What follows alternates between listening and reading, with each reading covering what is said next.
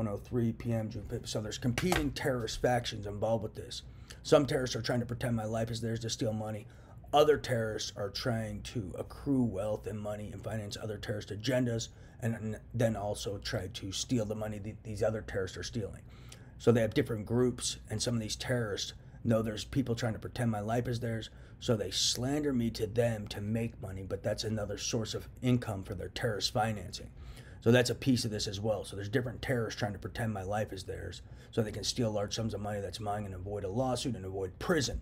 So then there's other terrorists who know about this, so they slander th- slander me to them to make money, and then uh, I guess make try to help them look justified in crimes as well as theft, and then also sell them my information related to my life, so they can have key information related to my life and pretend it's their life, because they're trying to get away with theft of money related to my data, IP, and other things.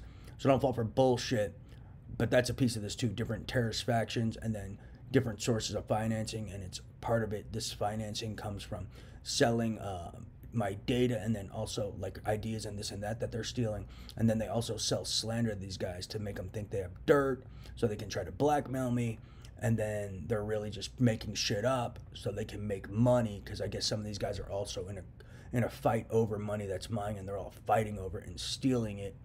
And um, these kids are trying to make the, sell this capitalize off of it by selling this pretended dirt and then make money uh, running slander campaigns and more. So that's a piece of it and it has to do with some illuminati president jazz.